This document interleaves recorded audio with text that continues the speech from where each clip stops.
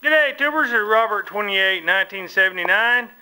As I guess see I've got the case up on the the jack. I've already took the cylinder off, the hoses all the way back to the valve off. Uh gotta figure out I've got some other hose outside I've got some more hose over here. I don't know which one I'm gonna use to go from the cylinder back, but here's kind of the issue I'm at. First of all, let me find those pictures here and I'll This picture here, let's get to where the glare ain't so bad with the light here, is an actual picture of a case manufactured one. So, uh, you see their hoses are fairly decent length. I've got some long ones outside, I've got some shorter ones.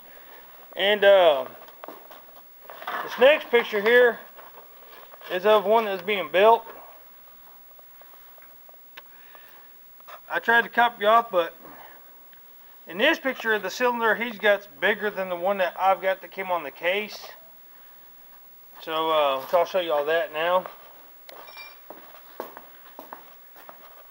This is the lifting cylinder, which it might actually be the same length as his in the picture, that came off of the case. Problem is, it's only a two and a quarter inch stroke, so it's not a very long stroke. So I've got everything on here all tacked together. You can see some pretty crummy tacks. That gasless flux core wire ain't worth a piss. I don't like it, but I'll fire the Lincoln up here in a little bit and I'll weld everything, finish welding everything out. Then I'm gonna mount this back on the tractor, on the case, tractor, and then I'm gonna come through on the bottom, put my bottom rod that's gonna run across for the lifting arms. I'll stick that up there and I'll use that to tack it into place and then I'll go back in with the link and weld it solid across. And then uh, I've got these lifting arms here. These actually came off of the Ford LGT 17H and I was thinking about trying to see if I can use these um because they're pretty bent and everything but let's get these over here. The table's such a dang mess and this thing's such a mess, which you'll notice these pipe deals in my videos. What those are is a guy puts up uh, billboard signs and these, it takes eight of them per sign. But yeah, it may take nine per sign, but there's nine on that stack, eight in this stack. Anyway, he builds the signs, he bolts it together and clamps it to the pipe. And what I got to do is you see here, I've got that one clamped on. I got to weld that on, gusset it, weld this on, gusset it, and do the full weld out of both sides. Clean it all up, get all the burrs and stuff off, grind it down. Like here, get all these burrs off the edges. And then one whole ring is assembled. It's just all bolt together stuff, which pretty pretty smart deal versus going out and welding everything out in the middle of a field and catching fires or starting fires. So pretty smart on that deal, but I gotta get these finished up pretty soon. But back to this. My mind's going a million miles a minute right now. I've got so many things I gotta get done that it ain't even funny.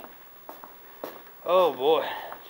Trying to get my project done in, in a little bit of lead time I've got, which I got the blueprints here and I'll tell you, if, anybody out there is going to build one of these, and you find these blueprints online,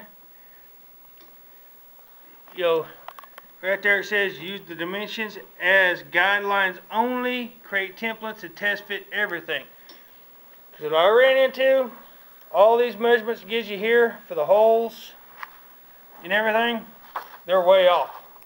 These bottom holes, going off that measurement, which I got the other plate on the floor, were a full complete hole off up. The actual bolt would have gone in right here. So I had to uh, make a new plate, which is this one.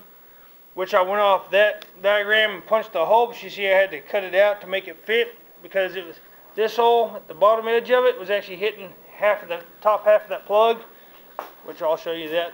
I'll explain. You've got the plug right there. That one hole had to cut out. Half of it was hitting the top half of that plug. So it wasn't cor correct.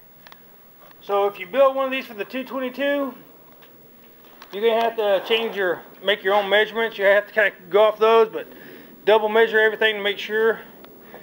Because I believe these plans were actually made to build the hitch for the 444s, if I'm not mistaken. So, uh, but anyway, fingers on the work this morning.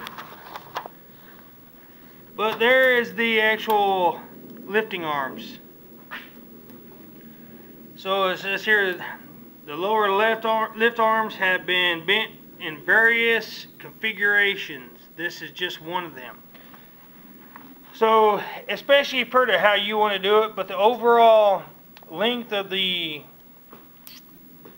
uh, lift arm is 17 inches, what this is calling for.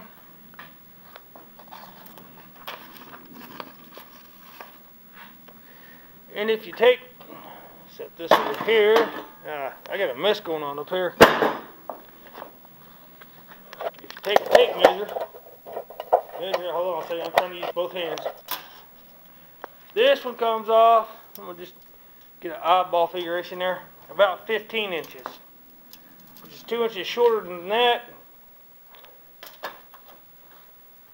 But as you can tell, it's got a heck of a lot more bend in it. So, these will go on this plate, they'll come off like that. Off it with the bend out. Which this is actually got a double another bend down there to kind of allow it to bend in some. But as you see the lifting holes here instead of right down here, so I'm gonna have to put another hole in here for the lifting. But I'm thinking these might work, and if they don't, I ain't too worried about it. Because I've got the lifting arms that I made right down, down here that were on the back of that Ford LGT 17H. I took all that off and saved all that just for when I was building this one. So those are I think they're 32 inches long or something like that. I made them real long because that Ford, when you attach the three-point hitch stuff up, it was just way too close to the tires. I mean, I think my disc, my little disc was actually hitting the tire, if I'm not mistaken, so I had to change those out, but it'll be different on this case. Oh, good, they're testing the uh, tornado sirens right now. So, uh, I don't know. That might be kind of close too, so I'll have to check it and see. And if so, then I'll just make new uh, lifting arms. Ain't too bad. Ain't too bad. So, but and also too on these blueprints.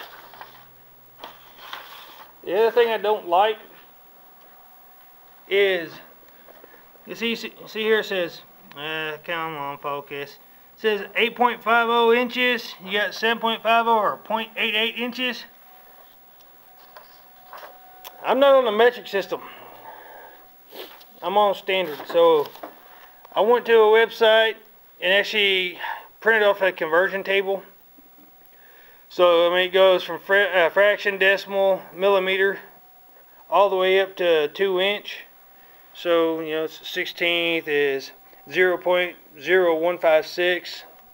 So kind of give you a little bit of a guideline. I mean, some of these numbers don't hit quite. I said that was 0.3, 0.88, which will be on the next one here, I believe.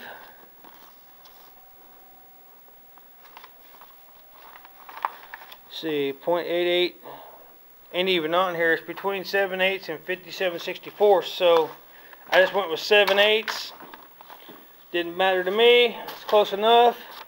This is going on my my rig, so it don't matter. It's not like I'm doing it for a customer. So, but um, I've got all that stuff, and yeah, like I said, I got a hell of a mess going on. Everywhere you look, there's crap just stacked on everything in here right now. It's just been so hectic and crazy here lately with everything that's going on, which I'm not going to get into all that because some of it a little too personal, so, uh, but needs to say, I'm, I'm home right now on medical leave because I hurt my back, which I've said in another video, but they're actually going to send me to a specialist on that. And I'm probably going to have to have surgery, so I'll be out for a while. So I've got to do what I can out here to make the extra funds to cover up for the lost money I'm going to be missing on my paycheck. So a lot of work for me going on here pretty soon. But this is where I'm at on the three-point hitch. Fixing to start welding it all solid. And like I said, once I get that done, I'll mount it back on the tractor and get that lower bar in place. And then uh, I'll tack it on while it's under the tractor. And then I'll turn around and pull it back off, weld it all up. And I'll let y'all see that. And then the next step is going to have to be building my lifting arm, or my actual adjustments that come off here for the lift that run the rod that runs from here to your lifting arm. Uh, lifting apparatus? There we go. But I'll have to get those made. And I've seen a different two different styles. I've seen that the photo earlier. I'll, let me refer back to those a little bit. I said I'm kind of hit or miss today these guys on this one use solid rod from what I could tell. See, kind of like this one on here from the factory. It's just got a solid rod with a little adjuster there. But you got to take the cotter key out and you got to twist it to adjust it. It's kind of crappy if you ask me. But that might not be correct either. It looks like it's got a, under that hose, it's got a, a washer welded to it. Goes through a, basically a piece of tube. And a washer on the bottom where you can actually spin that by hand to adjust it. It's not a bad idea. But I've also seen the other ones on uh, YouTube where they have double adjusters on both sides. That they just went and bought and manufactured the ends. And I'm have to see if I can get a hold of top link adjustment there. So I've still got a little bit left to do, but that's where I'm at on it. So coming along slowly but surely. I was kind of hoping to have it all done by now, but I ain't that big of a hurry to be honest with you so. But anyways until the next video comment rate subscribe and let me know what y'all guys think. Till then y'all have a good one